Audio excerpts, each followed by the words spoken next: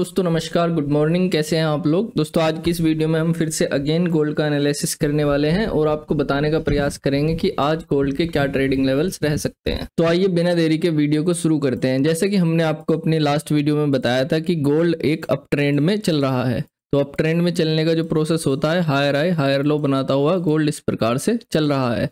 तो यहाँ पर आप देख सकते हैं कि कुछ टाइम के लिए गोल्ड ने यहाँ पर एक रेंज बनाई है, ठीक है? अब यहाँ पर इस रेंज से ये थोड़ा नीचे की तरफ़ आ रहा है तो यहाँ पर काफ़ी इस तरह का इंडिकेशन मिल रहा है काफ़ी ट्रेडर्स को कि अब गोल्ड डाउन ट्रेंड में चला गया है। तो यही जानने का प्रयास करेंगे कि क्या गोल्ड में सेलिंग कर सकते हैं लॉन्ग टाइम फ्रेम में गोल्ड सेलिंग में आ चुका है या फिर अभी अप ट्रेंड में है ओके तो यहाँ पर आप देख सकते हैं, जैसे कि मैंने यहाँ पर ये दो लाइनें लगाई हुई है, ये आप देख सकते हैं। ये है एक हमारा न्यू हायर है और यहाँ पर ये देख सकते हैं, ये है प्रीवियस हायर लो ठीक? तो मार्केट को अगर ऊपर जाना है गोल्ड को अगर ऊपर जाना है तो अपने इस हायर हाई को ब्रेक करके ऊपर की तरफ़ जाना पड़ेगा, तब मार्केट ऊपर जाएगा, एक न्यू हायर हाई बनेगा।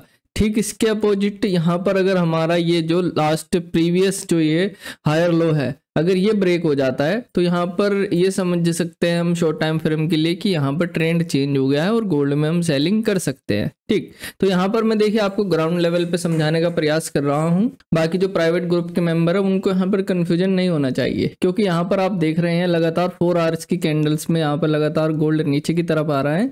तो यहाँ पर आप शॉर्ट टाइम फ्रेम में बहुत बढ़िया सेलिंग अपॉर्चुनिटी कर सकते थे, ठीक है? सेलिंग करके बढ़िया प्रॉफिट बना सकते थे।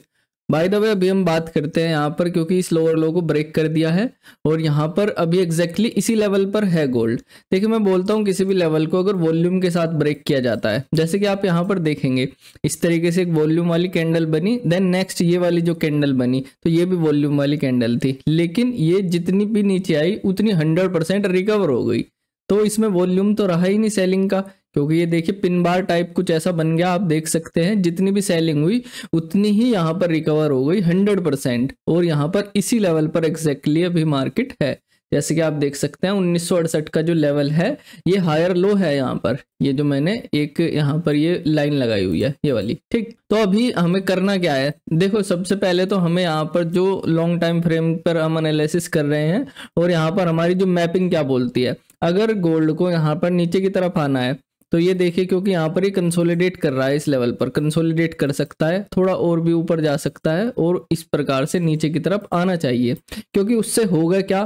फिर हम यहाँ पर इसको हाई मान लेंगे, ये जो लेवल है, और हाई के बाद बना low then lower high then lower low इस तरीके से अगर मार्केट आता है नीचे की तरफ़ तो हम यहाँ पर सेलिंग कर सकते हैं। लेकिन इसके अपोजिट अगर ऐसा नहीं होता है दोस्तों, क्योंकि यहाँ पर एक पॉसिबिलिटी और भी है कि ये वाला जो यहाँ पर ये जो लो पॉइंट है, ये ब्रेक नहीं हुआ वॉल्यूम के साथ। तो यहाँ पर मार्केट इस प्रकार से कंसोलिडेट कर सकता है और फिर से अगेन एक न्यू हायर हाई बना सकता है। और फिर इस प्रकार से मार्केट ऊपर की तरफ़ चल सकता है, ठीक है? तो दोनों ही सिनेरियो हमने आपको मार्केट में बताए हैं तो ये आपको इसलिए बताए हैं क्योंकि आपको मैपिंग पता होनी चाहिए और एक कदम आगे के बारे में आपको जानकारी होनी चाहिए।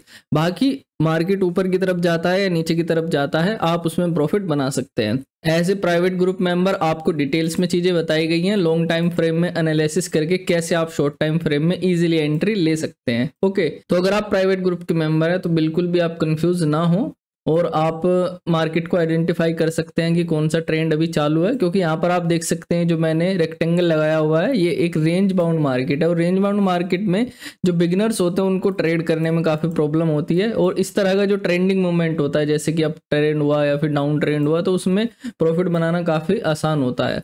तो यहाँ पर थोड़ा पेशेंस रखने की आवश्यकता है। अगर आपको अच्छी ट्रेड नहीं मिल रही है तो ट्रेड को आप अवॉइड भी कर सकते हैं। बाकी सेटअप के अकॉर्डिंग आप ट्रेड कीजिए। आइए अभी देखते हैं यूरो यूएसटी को। दोस्तों, ये मैंने आपके सामने यूरो यूएसटी का चार्ट लगाया है और जैसे कि आप देख सकते हैं लास्ट वाली वीडियो में मैंने आपको बताया था कि यहाँ से एक मतलब ये हायर हाई बना और इस वाली सभी रेंज को ब्रेक करके ऊपर की तरफ़ गया यूरो यूएसटी लेकिन उसके बाद हायर लो बनाएगा क्योंकि मार्केट कंसोलिडेट हो गया। यहाँ से ये ऊपर की तरफ़ जा रहा है, लेकिन ये यहाँ तक भी आ सकता है डेफिनेटली कोई प्रॉब्लम नहीं है। देन उसके बाद यहाँ पर आपको एक न्यू हायर हाई बनता हुआ दिखेगा। इसको हम थोड़ा सा और जूम करते हैं, जैसे कि आप यहाँ पर देख सकते हैं यूरो यूएसटी ऊपर की तरफ़ गया, फिर से कंसोलिडेट हुआ और कंसोलिडेट हो ही रहा है अभी। देन उसके बाद हम यहाँ पर ऊपर की तरफ़ एक्सपेक्टेड करके चल रहे हैं कि यूरो यूएसटी एक न्यू हाई राय बनाएगा अपने इस वाले हाई को ब्रेक करके।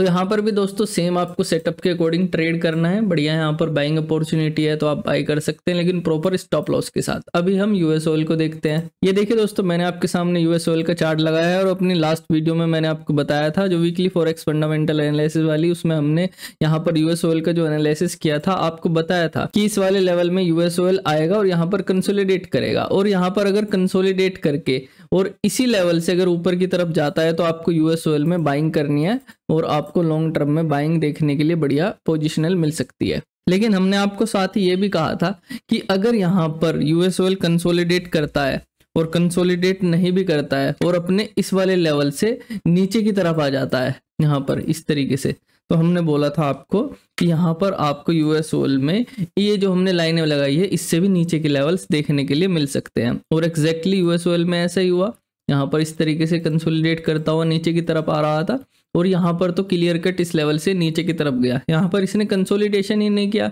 अगर यहाँ से यूएस ओल को ऊपर की तरफ़ जाना होता तो यहाँ पर ये पहले कंसोलिडेट करता। ठीक है रेंज बनाता, लेकिन ऐसा नहीं हुआ। यहाँ पर ये क्लियर कट इस प्रकार से नीचे की तरफ़ जाए जा रहा है और अभी हमें यहाँ पर देखना है कि यूएस ऑयल और कितना नीचे तक जा सकता है। अभी जो यूएस ऑयल नीचे की तरफ़ आ सकता है, वो आपको यहाँ पर इस तरीके से यहाँ पर ये वाले लेवल्स भी देखने के लिए मिल सकते हैं। यहाँ पर यानी कि हमने जो एक रेंज लगाई है 74 से लेकर यहाँ पर आपको 76 तक यूएस ऑयल आने के लिए दिख सकता है। और डेफिनेटली ये आपको आज बुधवार को जो शाम को क्रूड ऑयल की इन्वेंट्री आएगी, उस पर भी काफ़ी डिपेंड करेगा।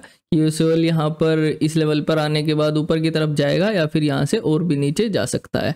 ठीक है? तो बाकी आपको अपने टेक्निकल एनालिसिस और सेटअप के अकॉर्डिंग ट्रेड करना है दोस्तों, क्योंकि न्यूज़ को मैनिपुलेट किया जा सकता है, लेकिन चार्ट पर जो आप साइकोलॉजिकल लेवल्स देखते हो, इनको मैनिपुलेट नहीं किया जा सकता। और अगर आपके पास बढ़िया सेटअप है तो दोस्तों आप बढ़िया कमा सकते हो। देखो ट्रेंडिंग मार्केट में सबसे ज़्यादा पैसा बनता है, बाकी जब रेंज में होता है मार्केट तो वहाँ पर थोड़ा सा आपको वेट करना होता है, थोड़ा सा प्रॉफिट बनाने में प्रॉब्लम आती है डेफिनेटली लेकिन अगर आपके पास बढ़िया सेटअप है तो आप कंफ्यूज नहीं होंगे। क्योंकि आपको क्लियर कट चीज़ें पता चलती हैं, कब मार्केट ट्रेंडिंग है, कब रेंज में है और कब आपको बढ़िया अपॉर्चुनिटी मिल रही है, कब आपको वेट करना है। तो दोस्तों, ये था आज का हमारा कुछ गोल्ड यूरो यूएसटी यूएस ओल का एनालिसिस तो दोस्तों, अगर आपको वीडियो पसंद आई है तो वीडियो को लाइक ज़रूर कीजिएगा। और अगर अभी तक आपने हमारा प्राइवेट ग्रुप ज्वाइन नहीं किया है तो दोस्तों, हमारे दिए गए लिंक से अकाउंट ओपन करके आप प्राइवेट ग्रुप का एक्सेस फ्री ऑफ़ कॉस्ट ले सकते हैं। अगर आपका ऑलरेडी अकाउंट है तो दोस्तों, आप हमें व्हाट्सएप पर मैसेज कर सकते हैं, अपना आई भी चेंज कर सकते हैं। देन आपको हमारी तरफ़ से high profile trading strategy provide की जाती है, जिसके लिए आपसे कोई भी चार्ज नहीं लिया जाता है एकदम निःशुल्क है। बाकी दोस्तों, इसी तरीके से ध्यान से ट्रेडिंग करते रहिए और कमाते रहिए। मिलते हैं आपसे दूसरी वीडियो में, तब तक के लिए टेक केयर बाय बाय धन्यवाद।